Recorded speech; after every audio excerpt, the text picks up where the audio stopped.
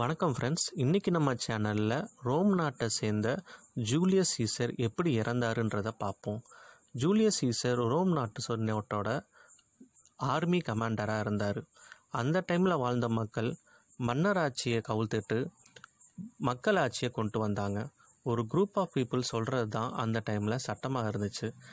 இது senators and people அப்படின்ற group அந்த டைமில் வந்த ஜூலியஸ் சீசர் பல போர்களை வென்று மக்கள் மத்தியில் செல்வாக்கு பெற்றார். அவர் மக்கள்கிட்ட நிறைய செல்வாக்கை பெற்று அவருக்கு ஒரு கோவிலே கட்டுற அளவுக்கு வளர்ந்துட்டார். ஒரு மாதத்தோட பேரவே அவர் பேரில் வச்சுட்டாங்க. அதுதான் ஜூலை.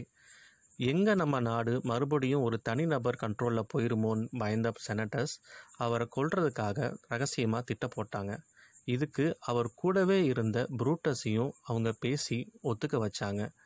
மார்ச் பதினஞ்சாம் தேதி நடந்த ஒரு கூட்டத்தில் தன்னோட கையில் இருந்த கத்தியை எடுத்து ஒவ்வொருத்தராக ஜூலியஸ் சீசரை குத்த ஆரம்பிச்சிட்டாங்க.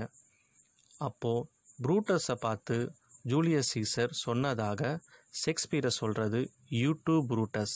ப்ரூட்டஸை பார்த்து ஜூலியஸ் சீசர் ரொம்பவே சோர்ந்ததாகவும் இவர் இப்படி பண்ணுவார் நினச்சது போட பார்க்காத அளவுக்கு அவர் வருத்தப்பட்டதாகவும் சொல்கிறாரு கடைசியாக இருபத்தி மூணு தடவை குத்தி ஜூலியஸ் சீசர் கீழே விழுந்து ரத்த